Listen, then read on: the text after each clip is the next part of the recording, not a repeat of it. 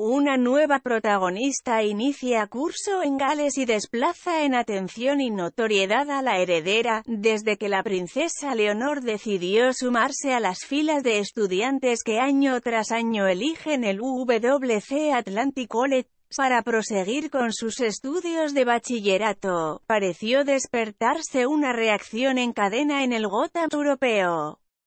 Al poco tiempo de la noticia que dio la vuelta a España, la prensa internacional anunció el ingreso de otra de sus coetáneas, la segunda hija de los reyes Guillermo y Máxima, Alexia de Holanda.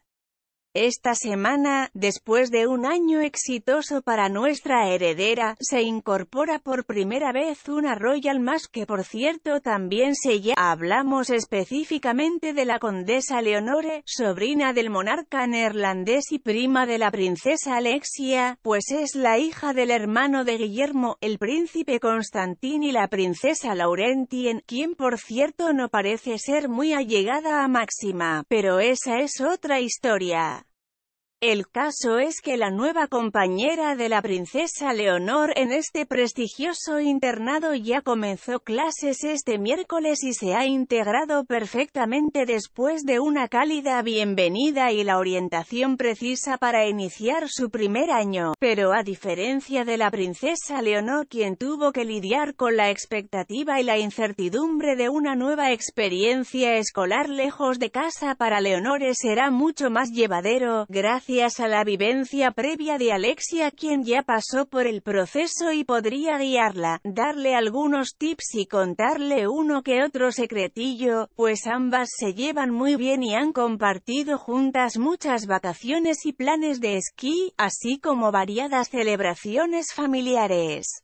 Desde medios como Vanitatis, se proyecta que, dado que la princesa Leonor y su par royal, la princesa Alexia cursan el mismo año y son compañeras de clases, la llegada de Leonor les permitirá formar un pequeña pandilla royal ya que el clan holandés es muy unido y la verdad es que podría ser una buena aproximación, pues entre ellas pueden entenderse muy bien al compartir procedencias, responsabilidades y otros temas que las acercan.